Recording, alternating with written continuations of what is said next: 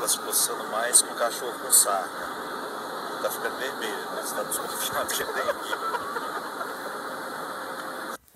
E ela contou isso pra nós aqui dentro do avião, agora eu não sei.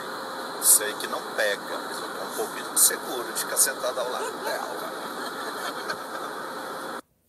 Vai que esse vírus evoluiu, a gente sabe. Né? Só, eu, só o mosquito das mas se encostar assim. Se, se for dengue mesmo, ela vai morrer. Não sei porquê. Ser tão grave assim. De qualquer forma, ela vai me causar um problema. Andando na reserva desde as 10 da manhã. Então agora, minha última. Minha carga de energia me dá para chegar até ali, ó. Onde está o alimento, senão eu morro.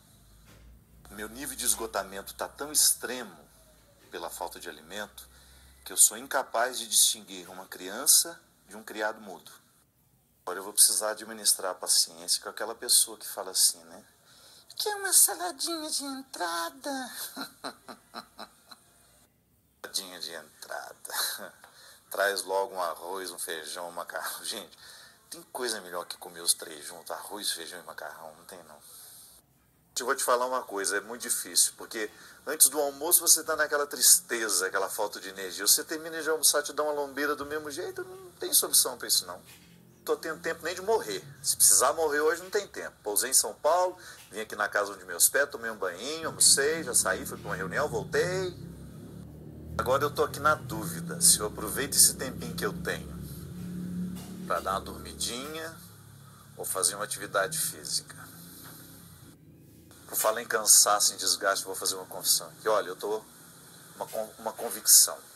Deus inventou o celular. Capeta invejoso que é para não ficar de fora da invenção, criou o celular que tira foto. Não satisfeito em inventar o celular que tira foto, ele deu uma enfiada de rabo no caldeirão e ainda criou o celular que faz vídeo.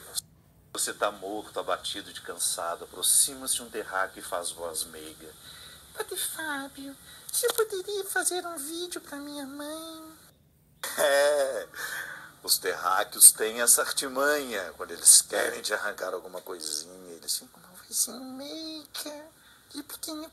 Fazem a voz do pequeno príncipe.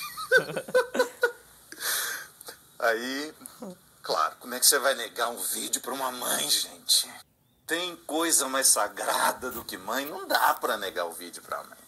Aí grava. Prazer, prazer, sei lá, faz aquela discussão. Quando o terráqueo começa a se afastar, de repente ele volta. Aí ele vem com a voz meiga de novo. Ai, não gravou, se pai. Depois da terceira tentativa, que vai, o vídeo ah, não está funcionando. Aí chega uma colega que tenta ajudar, aí grava no celular da outra. Aí depois você você senta no seu lugar, tranquilo. Aí de repente outra terráquea aparece. Padre, a minha avó te ama. Grava vídeo.